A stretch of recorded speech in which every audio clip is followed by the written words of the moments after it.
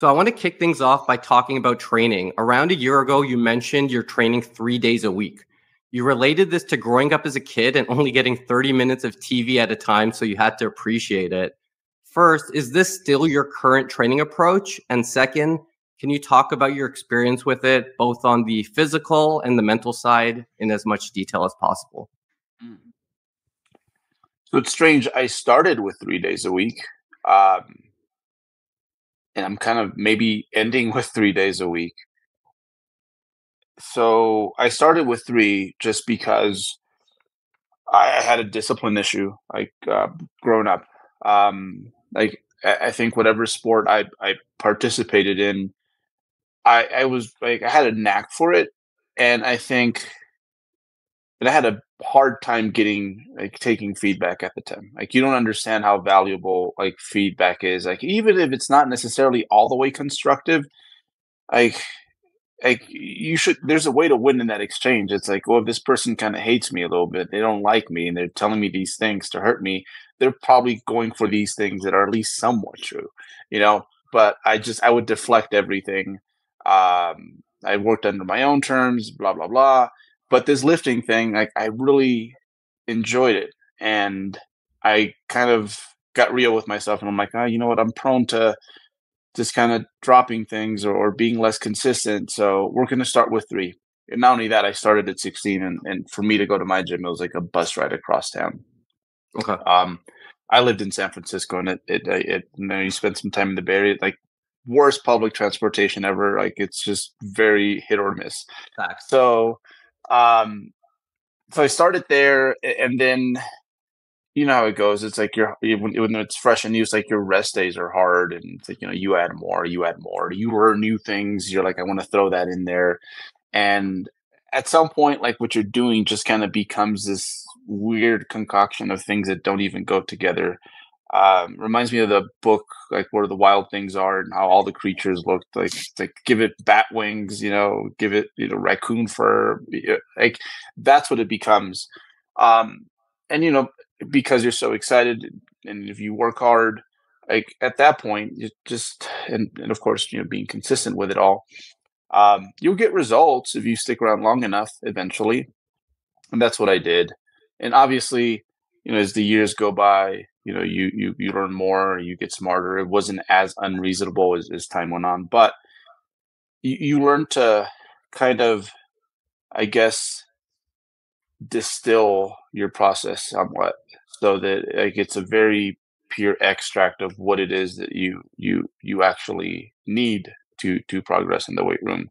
So i think the the three days a week was kind of just it started as like a post contest recovery. Like I, went from five to three. I'm like, well, let me see. We'll, we'll do three at first, just so that I can give my body some time to rest and recover, so that I can charge it up for the next like off season progress season. And then I'm like, you know what? This will be a great way to kind of test my skill set, both as a lifter and as someone who builds programs for a living, to see if I could make this that efficient. Um, and it worked. It worked really well. So I just kept it around. Um, and it's it's great because like, I, yeah, comparing it to the 30 minutes of TV as I got as a I, I, I was only allowed to have as a child. Like when I'm in there, like it's so bright, it's so wonderful. I've been thinking about you all week, and I really just enjoy and embrace like every moment, every rep, every warm up, uh, everyone I see, um, the even the not so good training sessions. Um, so yeah, we, that's where we were at. But you know, we spoke a little bit about this off air. Just had my first baby, and um, so training's just been whatever I can kind of put together of late. Yeah, that's fair. Um, and you mentioned doing three days. Um, so I'm curious, do you feel because you weren't going in as often that the sessions were more productive or maybe you were more focused on technique? Like maybe, you know, obviously you take, I'm sure, every session seriously. Uh, but you know, what changes did you see kind of, you know, decreasing the the frequency? Um man, so yeah, every every rep matters a lot more. Um is every rep is so much more important. Actually reminds me, I had a brief stint, I think I went from Arnold Encyclopedia like type workouts at some point to this thing called Max OT. Max OT was big like in the early 2000s and it was it was promoted by um, primarily a really good bodybuilder named Skip LaCour who uh, most people are like who but uh, fitness industry is like a revolving door like you ask these kids about Sam Sulek like 5 years from now they can be like who Yeah. like that that's that's just the nature of it um tried it made some really good progress, but then human nature kind of took over and I started getting back to like my old ways basically. Uh, but it, it worked really well one time and it, it worked really well this time. And above anything else, the fact that I was just able to really just create this program for myself that for the most part, as far as I can tell right now, and based off like what I know right now, you know, like I hope to know more in three years. I, it, it worked. It worked.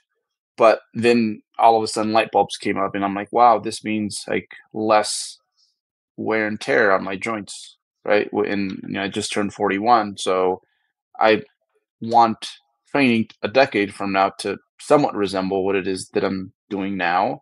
Um, I want to do this for a very long time at a you know decently high level. Um, and then also like dieting, I was I saw a lot of utility there because you know your weight training when you are dieting kind of plays a different role. It's just there to kind of maintain what you put on during the non-dieting phases. So I'm like, you know what? As much as you love training, like it's still a stress. Like I, I don't know about you, but after like a really hard, say, lower body day, um, like I'm garbage. Like my creative mind is just like done. Like I, I don't. I, it goes from like that little like lifter's high to like like everything's depleted. So it's a stress. Like just how dieting on a really hard work day can make dieting hard. I'm like, okay, this might open up some things for me later on where I can maybe go deeper with my dieting phases than before because I'm just not having to deal with as much stress, even even of the variety that, that I really enjoy. Because I enjoy my lifting, like that's for sure. But if I had to train six days a week, I'd do it. But it, it yeah, so it unlocked a lot of things. But the most important one was probably that you're a little bit closer to mastery in that you can be this efficient. Um, I have a few friends that kind of best way to put it is like they're just like incredibly wealthy people and the way they manage money like people would be like whoa, like you you make like I don't know, like 300k a year. I'm just making up numbers, just doing nothing if you wanted to, right? Yeah. And that's kind of how this fitness thing is is slowly becoming for myself. Where, uh, especially like it, right now as a new father, I'm like, wow, I'm so glad that I was like fitness competent. Like, as I got into this really rough patch because I could see how it can be really hard for people because at some point they're like, I need to do something to take care of myself, but I don't know where to start. So again, it was like the it was it was like a peak for me, and that I'm like, wow, like I am able to create something for myself that is so so so efficient, and obviously it, it trickles down to my athletes because I want them to have very very long lifting careers as well. Yeah, I think the idea of mastery is really interesting. Uh, so I'm curious, do you think that exercise selection is more important for you since you're only training three days a week and you know you're at a, a very advanced stage at this point yeah absolutely um you know when you're starting off like you can the target is just so big right that if you only did pressing like like a lot of actual young men start that way it's like they just go hit up that bench press in their backyard like they'd probably get some growth in places that aren't even prime movers. Like their forearms would get bigger, uh, their biceps. It's just really, it's really just stabilizing the movement. Like that would grow. Uh, but as time goes on, like yeah, like you you have to start to work with this this scalpel. So from a progress standpoint, yeah, you have to be more selective because hey, you only have maybe six sets, maybe eight sets a week for say your chest. Um, so that, and then als also because I have some mileage now, um, like, eh, things being ergonomic, like, matter, they matter a lot. Um, so so yeah, it it's all funneled into a lot of great things, and yeah, I I think everyone at some point should probably do some sorta, like, spring cleaning, especially the people out there who are just notoriously, like, hard workers, who are willing to, you know, overpay for goals, I guess you Yeah. could say. Awesome, and are you still doing more work kind of in the stretch or lengthened position? Uh, primarily, yes, um, but I I still scratch the shortened, i if anything, I mean, there's still tension there, your body still moves in that direction. Um, also, it's it's the part of a range of motion that fatigues first, so it doesn't take a whole lot anyways. Mhm. Um, so so yeah, no, we still do, but the ratio is probably somewhere around, like, I I think it's pretty biased on on my end, just because I've seen really good results, like 80/20. Okay, and I wanna go back to mastery. I find that really interesting. You've been doing this for a very long time. Do you feel like you're close to mastery, or do you feel that there's so much nuance that it's like a an endless goal? Yeah, I think by the time I I've gotten there, um I think my abilities as as an athlete will have, uh, started to decline. Um so, no, I I don't think I'm there yet. I think it takes a lifetime, so, you know, whatever you pick, like, make it your thing, I guess. Um, too many times where I'm like, I am there, especially, you know, you learn a few things and you're like, "I I got this, I got this," and then 5 years goes by and you're like, "I I really I really was off with my calculations there." Um, so, no, I I I I wanna remain a student. Um, I I wanna continue to learn, even when I have discussions with people at the gym, like, I I will interact with young men who um, maybe they're not comfortable with saying that, you know, they don't necessarily know as much as they think they do, Mhm. and and right away, like, 5 minutes into the combo, I'm like, "Okay, you're you're there right now." Don't blame them. Human nature to to be that way, especially when, you know, you're still a little insecure about a few things, that that's usually our 20s for most of us. Um I'm gonna be the one in that exchange that, like, learns the most, like, that's just kind of my motto when I interact with with people, e even though if if on paper I have, like, more qualifications, more knowledge, I don't care, like, Imma pick something from you that's gonna help me help people like you or something like that. So, no, I I like, Kaz lives, like, uh, M. Hansen, like, literally, like, right down the road, and, like, when I go to his place, it's his dojo, like, this is his thing. I am not there to, um teach him anything, like, that's my perspective. I'm just gonna I'm just gonna absorb and, like, think about this later. That's awesome. So you're talking about, you know, maybe more beginner, intermediate lifters at the gym. So one thing I notice is they can tend to over focus on what the natural pros are doing, and there might be a disconnect as one group views lifting as a hobby, and the other views themselves as an athlete competing in a sport. So in this context, what is one thing you think they're overemphasizing and one thing they are not paying enough attention to? Um, I I'd probably say the Uh, they're kind of one the same because it's sneaky, but, um and actually Kaz said this, and and it stuck with me that that bodybuilding is is the sport of over recovery. Um, so what you do outside the gym matters a lot, and it's more than just nutrition because I think, you know, most people, like, that's the first places they they go to. It's it's other things that are, I think, harder to master, especially in today's world, like, sleep is a big one. I've, um, constantly set out my athletes on this, like, 60 hours of week sleep challenge. It's not sustainable by any means for most people, but they get a taste for it if they get there, and they get to see the impact that has on everything, not just their training, and okay, so at least now you see what that feels like. You'll value it. Maybe you won't be able to get 60 hours of sleep every week, but there's at least an incentive there to like have something going there that's somewhat decent. It's it's just I think it's harder to sleep than ever before with like today's like modern world, right? Um there's that the stress management component I think is huge.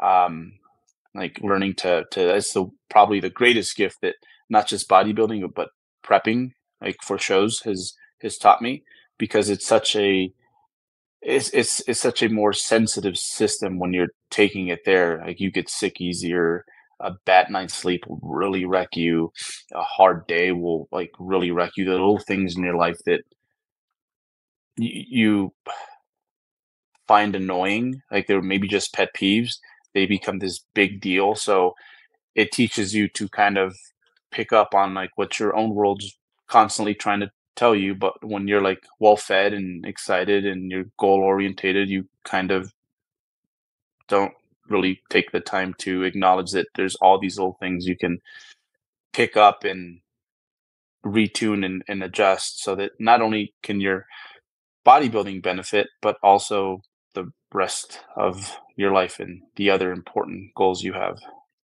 Do you have any tips for stress management uh, it's going to sound kooky, but I love meditating. Um, most people will give it a try and they're like, I suck at this. I'm like, no, you don't. That's, that's kind of the point. Like, it, you're probably doing it right, even though you think you're not. So, um, what's funny is when I was in the Bay Area, so I've been meditating on and off for like 20 years. And someone was like trying to compete with me on meditating. Like, how many days have you meditated in a row? And in my mind, I was just like, I don't think you understand the point of meditating. exactly. Exactly. Uh, I mean, I started with such a low dose because I knew that it'd be more than what I was doing. It's kind of like weight training or just like exercising in general. Like people who can only get it in twice a week, they're like, well, I really don't have time. And what they're really saying is like, maybe I don't have as much time to dedicate to this goal as I think I need. And it's like, it doesn't take much to just get rolling with something. I think, you know, like that's the one thing bodybuilding has taught me is that anything else I do from this point on is going to have a very accelerated like learning curve as part of mastery that like, yeah, I'll suck day one, but I'll come back day two and I'll be like almost twice as good at whatever that task is. Um, so yeah, with the meditating, I started five, uh, five minutes a day and it still hasn't moved much because kind of like the same way, same approach I took when I started training. I was like, we'll start with three days a week. So it's really just moved on to 10 days a week. Um, it's not always at the time I'd like it to be. Like sometimes I would like for it to be fresh in the morning, but that, of late that hasn't been the case. It's like, okay, baby's asleep, get it in now, right before bed, whatever. Like something is better than than nothing. Um, but that one is has been huge for me um, and just kind of getting to know my brain a little bit better and you know what's what's eating gilbert grape sort of deal. For sure. You learn a lot during that still time as well because questions or things will pop up and those are usually the things that cause you stress because they're on your mind and then you need to figure out okay is this in my control? Yes or no if it's not in your control, you have to kind of let go of it. If it's in your control, then take a small action towards it and kind of get that thought to go away. Yeah, it's just about awareness. That's that's all it really is. That that's all it is. But I guess this is like from the people who don't meditate. I, think it's something. I don't know, like you're floating out in space or something like that. But it, it's not nothing like that. It's it's just it's it's quiet time in your own mind, which uh, again, especially if you have a lot going on, it's not very comfortable, but it's it's it's much needed, man. It's like cleaning up that desktop. It's the best way to describe it, right? We live in a really in your face world with things like social media and screens everywhere. So just it's being in your own thoughts for a small amount of time and whatever happens happens. It's not whatever happens happens. Exactly. Exactly. Cool. So what I'm going to do now is I'm going to throw out some quotes or phrases you've said in the past. Give me your first reaction to it. Uh, so the first one is a flexible dieter is an educated dieter. Yeah, man. Um,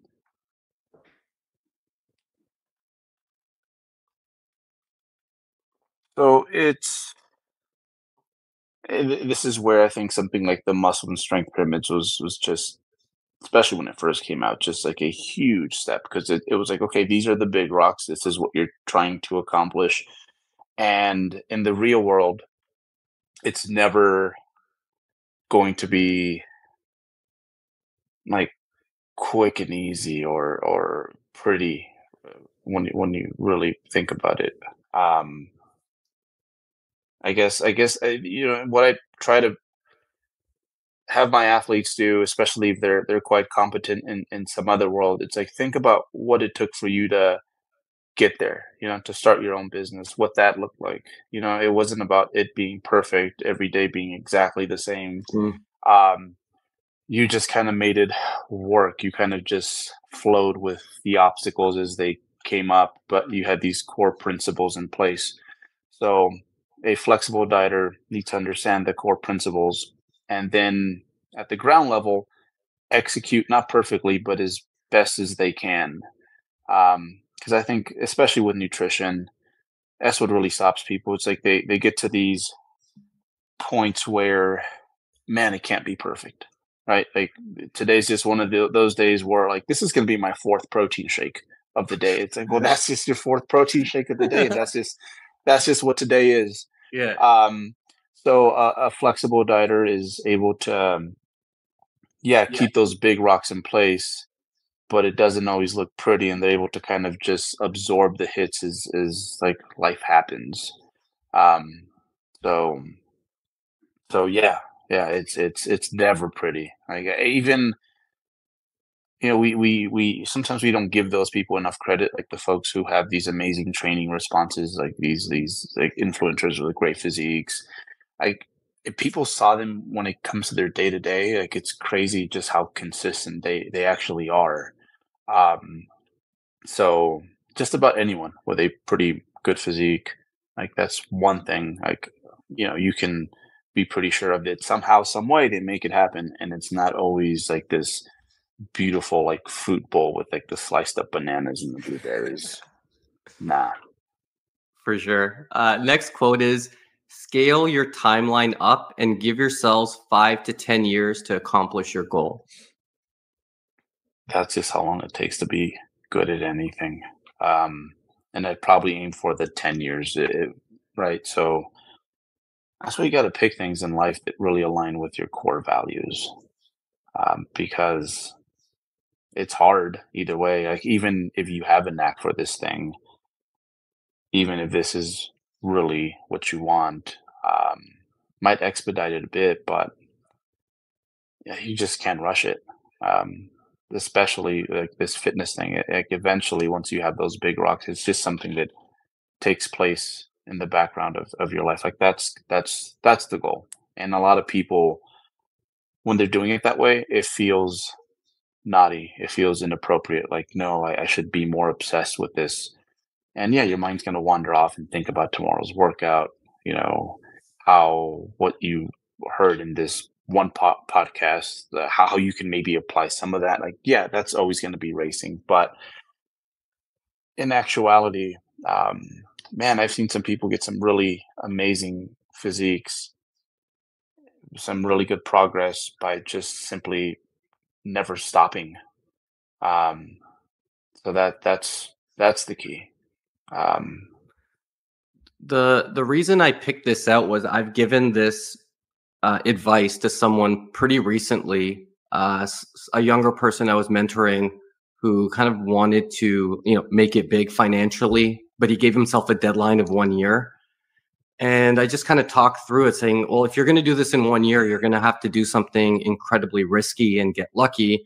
But if you give yourself 10 years, you're going to give your mind some time to wander and think of ideas and slowly work at it. So just like extend your time horizon. I know we want it right now, but sometimes if you want it right now, you're just never going to get it. So just give yourselves five, 10 years and just chip away at it. And you'll generally be headed in the right direction, at least. Yeah, there's a lot of exact risk and luck. Like w- whenever we do hear those stories of like these amazing um, turnarounds, but like the grand majority of, I guess, fitness wealth isn't isn't developed in in, in say a year. It's usually multiple years, and and you know what? Like this is all a lot of fun. So, and it teaches you. It teaches you. Like I I, I, I mentioned, I pull so much from this that whenever there's something else I want to do, I just I try to put myself in this I guess a similar situation in my own mind that that like how and how what are the errors that a noob entering the fitness world today would make, and it really cleans things up for me and and it gets me to to be patient and and yeah not try to not do things that are going to require luck because you can't always count on that. You'll get some if you hang around long enough when it comes to any task. Um, but also where I don't have to expose myself to those risks that can like legitimately just have everything topple over like overnight. Awesome. Uh, I got two more here. The next one is don't get fat, but don't go trying to stay too lean for the IG. All the people that don't care about your gains than as much as you do. Yeah. Um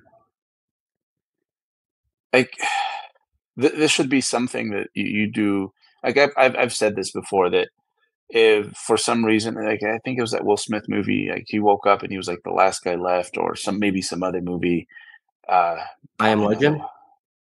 Maybe Maybe. maybe Okay. Yeah. I'm I'm I'm a bad movie watcher. Um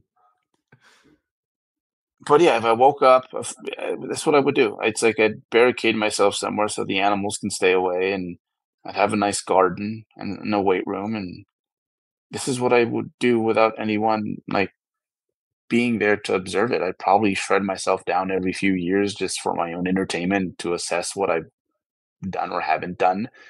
Um, so yeah, at the end, like this, this really should be your thing. And tell you what, as I've gotten older, um, I've I'm now really starting to realize how awesome this experience has been from a from a health metric perspective. Like that wasn't my initial goal. I just wanted to extend my athletic career.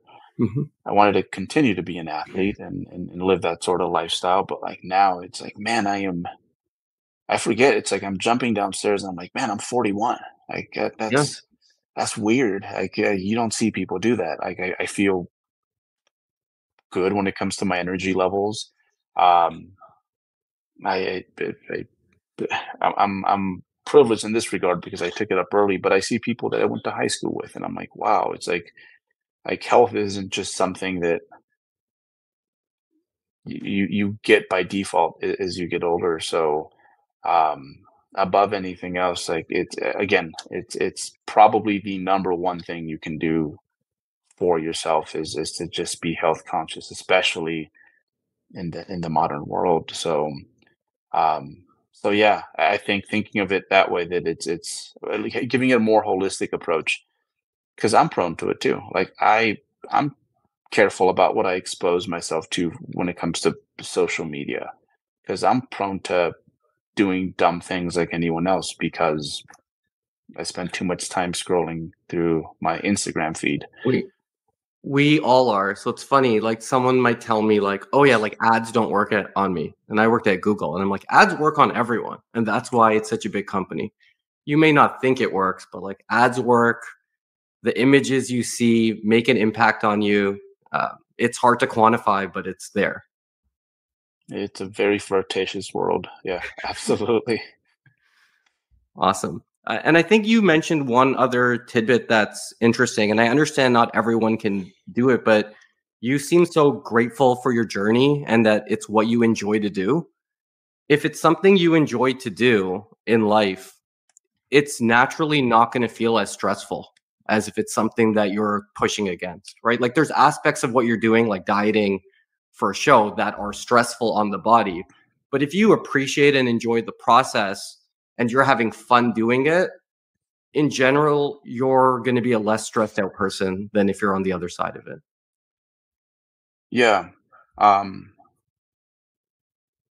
Yeah, I'm so grateful. Um, and, and you know, like through bodybuilding is is the lens that I view like the rest of the world. So it's even though I mean there's still some resistance there sometimes, but there's less than when it comes to other things in my life that I completely suck at. Like that's what I big whenever I meet someone who is a fan, which is still a weird concept of something to say.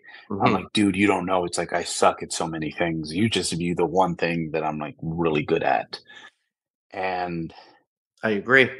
My friends know that I have to call TaskRabbit to do the most simple thing around my house because I'm absolutely useless. Like it's comical how bad I am.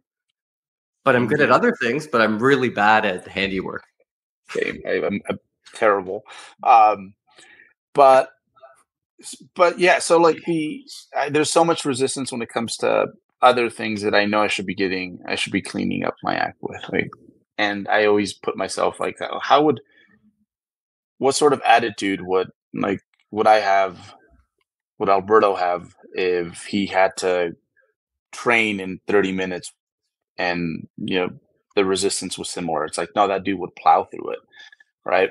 So same thing with um, a lot of projects that I have going on, like writing is one that there's a lot of resistance. I think that's just the nature of that that intellectual sport. Like I, that's what I've heard from every writer. Um, it's like okay, well, Bert would find himself in the gym, like warming up, getting going, and making it happen. So take that same attitude and let's let's try to have some semblance of that when it comes to this thing that can be a little discouraging for you right now. So um so yeah, it's just you pick one thing and it teaches you so many more things, n- not just that that one thing. But it is important that it has to be your thing. Like with my new little one, everyone's like, "Oh, she's going to get into like bodybuilding and fitness," and I'm like, "No, no, no.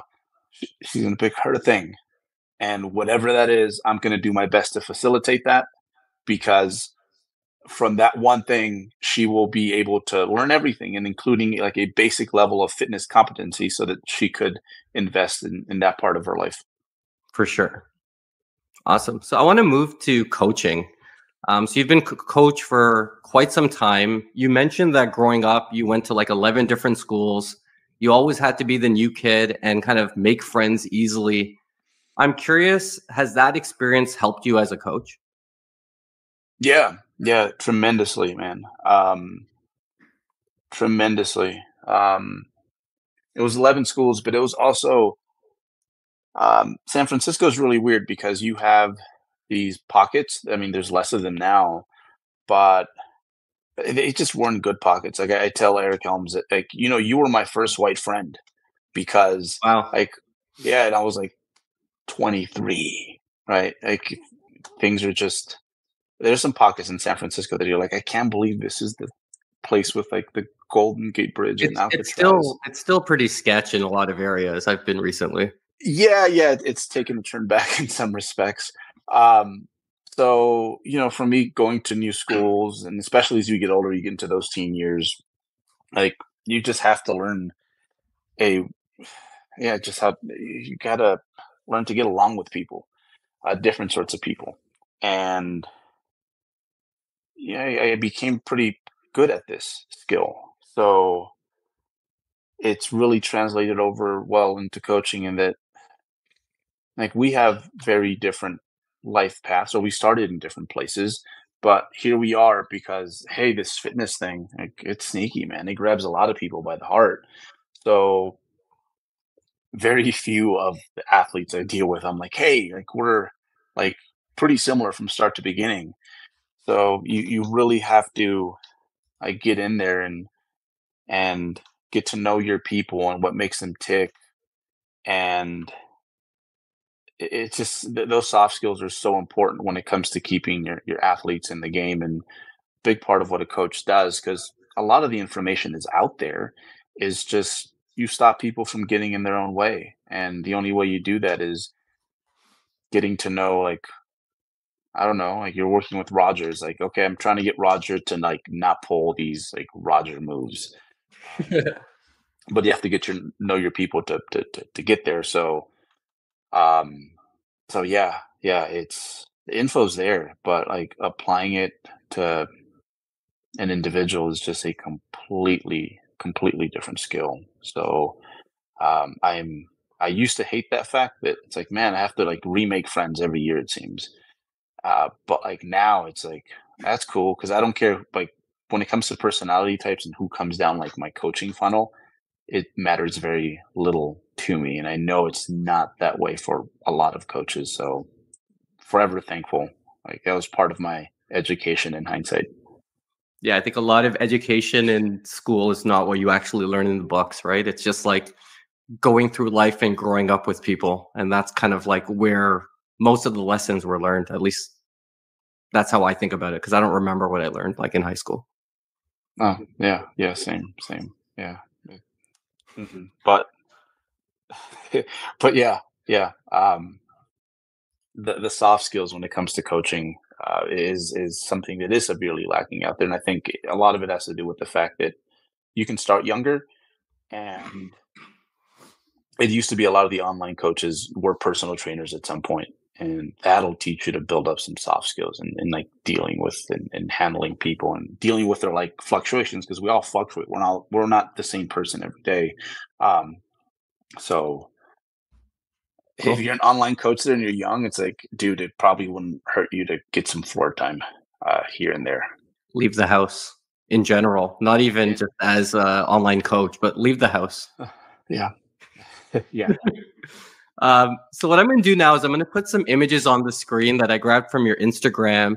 Tell me either if there's a bigger story or if you learned some or something that maybe you learned from that person. Cool. Yeah. All right. So the first one is you and Jeff Nippard. Hmm. Let's see. Um, two things with Jeff. He he took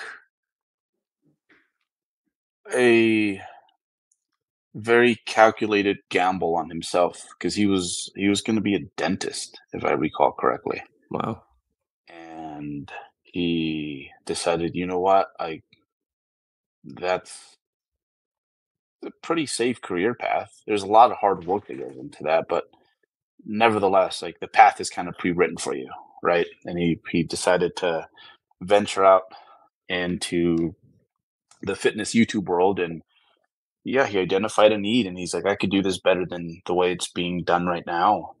And um, like, look at him now. So it, it, it's crazy to see where he had this old podcast. I think it was called Ice Cream and PRs or something like that. it, it was very lo-fi, and like now he's he's Jeff Nippard. Um, like it's everywhere I go. Like like people are like, "Hey, you were you were in that one video with you know Jeff Nippard." Like, and it's it's all sorts of different types of people. So, um, so that's that's that's the first thing that comes to mind is that he he he didn't ignore you know like where like his brain his passion wanted to to go and i think that's that's why he's so successful because this is this is exactly what he wanted to do even though when he did that 180 a lot of people would have been like you're you're nuts i imagine that was that had to have taken some weird conversations with people who really care about him um and the other thing is he's just a fantastic bodybuilder. Uh, people don't realize just how talented Jeff is. Um, like I, I, I, I'd say that a bodybuilder that he's he's not competing any longer, but like Flex Lewis, like I think Jeff is kind of a a natural version of of uh, Flex Lewis. So, awesome. yeah, cool. Next one is a OG picture of you and Eric Helms. I had just met Eric there, and Yes, when I th- see that, I think of all the growth that he's undergone since this was 2007, but his growth uh, really started after 2009. And I just remember there were certain things that Eric would do that I'm like, dude, you're so, such a lazy person when it comes to certain aspects.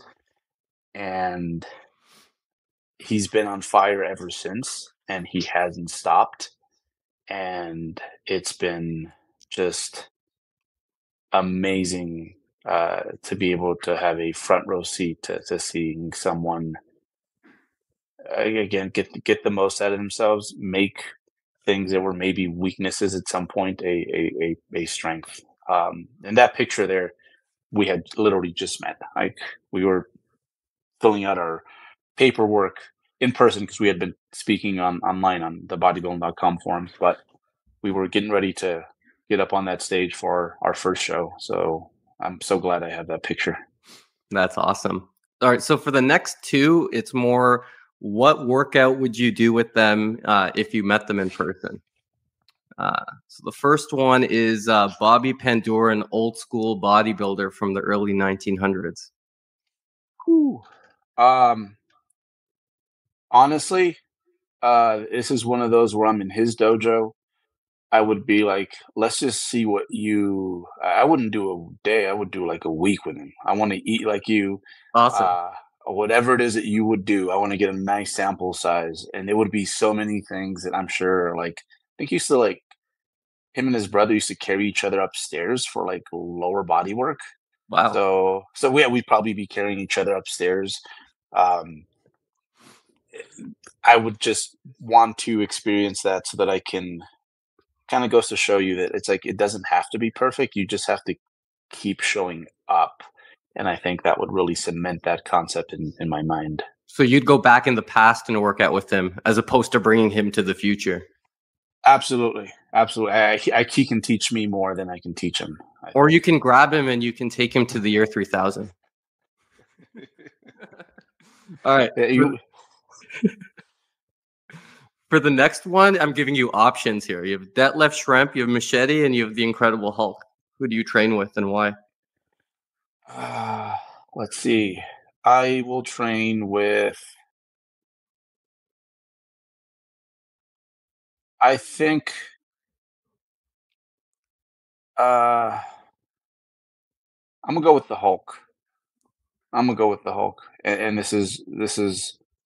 I think purely for social clout because if you, you if you you could endure a workout with the Hulk, uh, that's that's bragging rights. So, and I'd let the Hulk take over. Like it's, it's, it's his day. We're we're lifting whatever you want to lift, and probably won't be able to keep up. But yeah, bragging rights. That's hilarious. So I know you tend to do a lot of uh, machines and different uh, cable work. So I'm curious for the upper body, what's your Mount Rushmore, your four favorite cable exercises? Okay. Ooh, so first one that comes to mind is some sort of, um, I guess, like diagonal pull down. Um, and there's like a gradient of like ranges that you, you can kind of work through there. Um, but i love that movement. It's just probably my only other like really big interest um, was physical the physical side of anthropology uh, i've always been into like hominids and I think it's an extension of you know we're forever trying to get to know ourselves as as people. Like for me it's like it's extended into the species. It's like okay like how did like what's the story here? So when i look at that movement like our ac joint is still very like it, it's a primate ac joint and like it works really well in like these motions right? Uh it's it's like man we can throw like we're we're the one animal that like man we can launch some things and it's kind of when you think about it it's a very similar like we're just great in the zone. Um, so it just feels so or so orthopedically sound, so so natural. Um, so I, I, I love pulling from from that direction. Um, so that would be the first. I think the next one would be some sort of tricep movement. Um, simply because free weights at some point, like you don't see many people over the age of 30 doing skull crushers. Like that's a young man's game. You know, it's like a few people, like nice little chunk. They get to that like one plate on the EZ curl bar, and it's like not for long, brother. You know, like that's that's that's how that goes. So again, kind of ergonomics. I, I, can see myself doing cables for my triceps forever. Um, a lateral raise as well. I think when I think of, um, I could only keep one muscle, it probably would be delts because it's not like it's not pecs. Like people are so, especially like younger men, they're so infatuated with like having that plate of armor. But it's like this does so much more for um, your your taper. Like I think of Usain Bolt, the sprinter, right? It's like yeah, he had a sprinter physique, great physique still, but it was his delts, especially like you know he was a little bit tall for a sprinter per classic sprinter standards, but his delts or, or Dwight Howard, uh, he was all yeah. delts. He's all delts. Even all Giannis delts. now is mostly delts, and they look big. It's such an elegant looking muscle, right?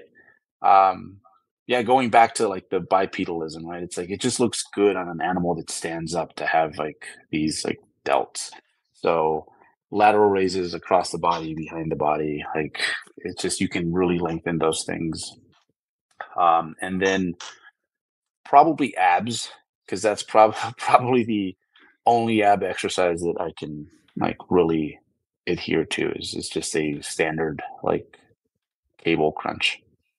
That's awesome. So a couple of things came from there. You mentioned anthropology. Have you read *Sapiens*, the book? Mm, no, no, no, no, no. I haven't.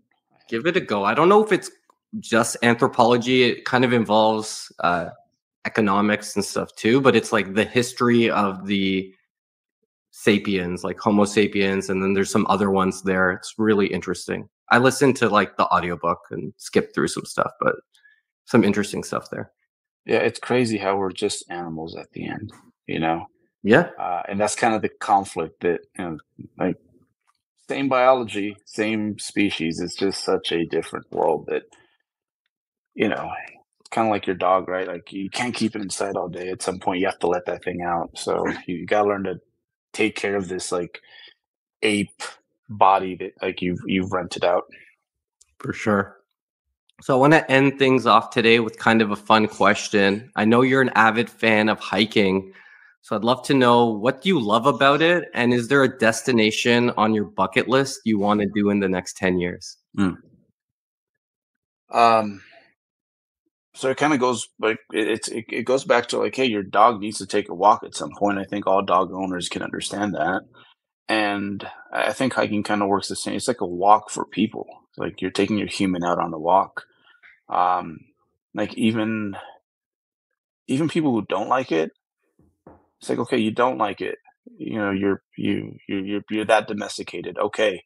But do it a few times and then see if that translates over into anything when it comes to how effective you are at living in your little domesticated world.